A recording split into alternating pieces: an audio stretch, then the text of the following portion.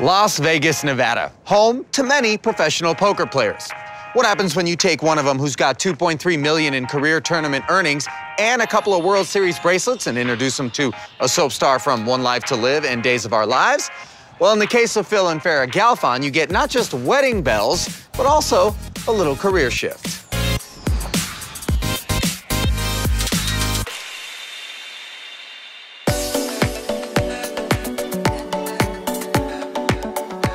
Little Egg Harbor.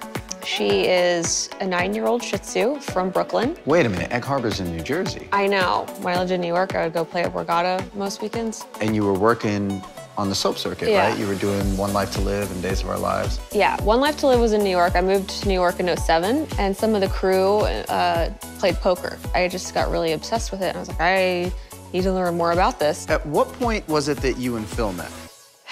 We met through mutual friends. Tinder! Twitter. Twitter, really? Yeah. I was doing a reality show, and the producers wanted me to have Twitter. So I thought, well, if I'm gonna be on Twitter, let me just make the most of it. Who do I want to follow? Phil Galfond. But how did you even know about Phil? From, from High stakes poker. You and him hit it off, and now you had possibly one of the greatest single poker minds out there as a resource. Being completely immersed into the poker community and being at the World Series and the, seeing the business side of the training side and all that, I mean, I just became consumed with it.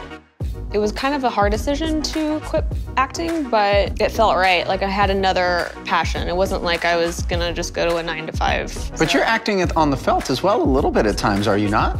Like, how do the two meet? Yeah, I think it's helped with my poker face, that and the Botox.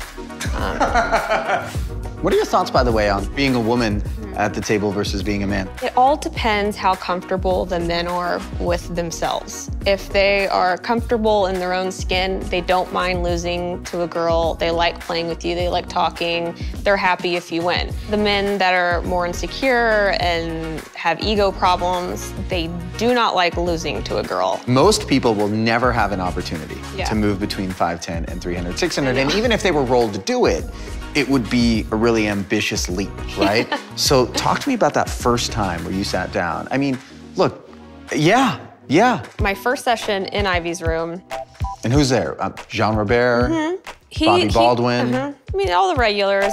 JRB had been asking me to play for a while, and What did you make of that, by the way? Because generally speaking, I don't Well, think I Jean Robert walks up to like Phil Galfond and goes, "Hey, buddy, you want to No, come well, in and play?" that was the joke. Like, Phil, you can't play, but your wife can. I guess Phil had seen my confidence go up, or what? I don't know what. But he just he pulled me out of my 5-10 game one day, and he said, "Come take a walk with me." And he said, "I think you're ready."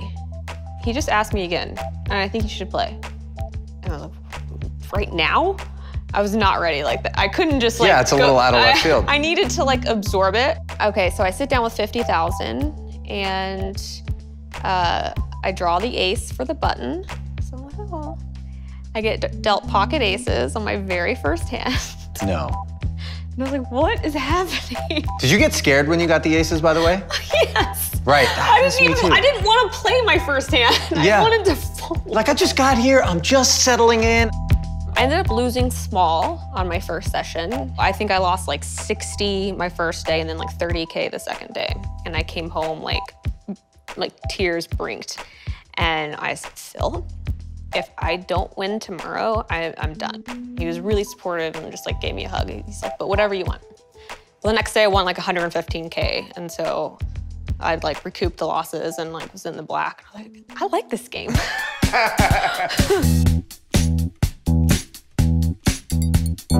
Where was this wedding? oh, it was at my house. Here. Yeah, we got married here, right, right out there. It was really down to the wire, a bit stressful. It sounds like But that. I had the best mixologist in Vegas um, making my mezcal cocktail, which I renamed the Happy Wife.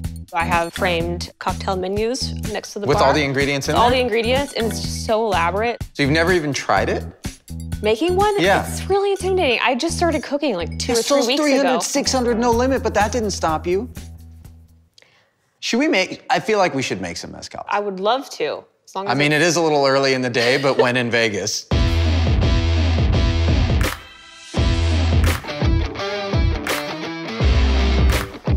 Welcome to downtown Las Vegas, Farah. I see loveliness before us, Matthew, GM of Carson Kitchen.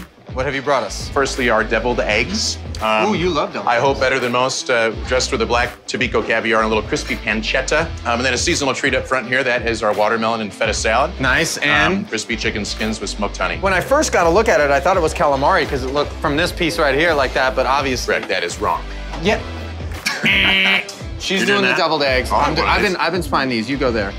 So normally we do fair, we just go like all in. All in? She knows all about that because she plays poker. Where'd my napkin? You took my napkin. So what is your drink called? Um, it's called Pink Smoking Jacket. That's a pretty good name. All right, so Farah, if you don't mind, I'm going to employ you as an assistant right now, and I'm going to have you hand me every single ingredient that we need to make this happen. I so thought we were gonna firstly- saw her in half.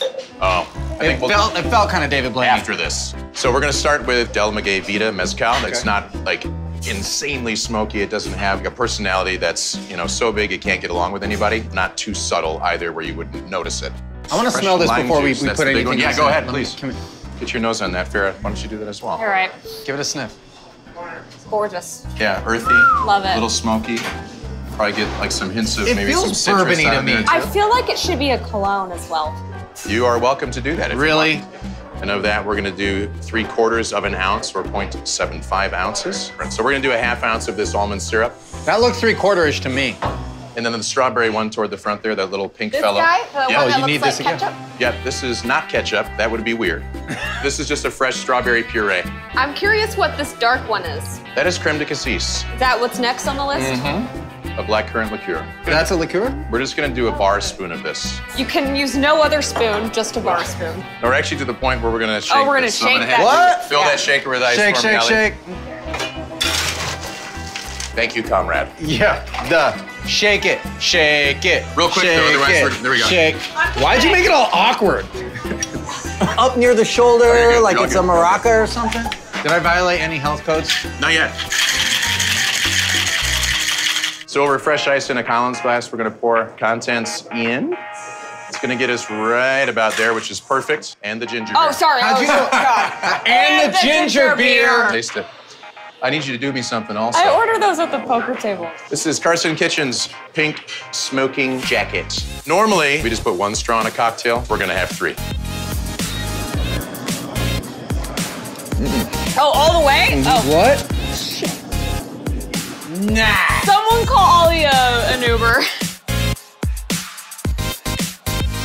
I've known Phil Galfond for a while, but never really had a chance to spend time with his wife, Farah, and today was super insightful. She walked away from an accomplished career as a soap star to turn around and become a professional poker player who's not only playing in some of the biggest games in Vegas, but also mixing up mezcal cocktails at one of the best bars in town. Coincidentally, that cocktail's talking to me right now. I'm gonna go.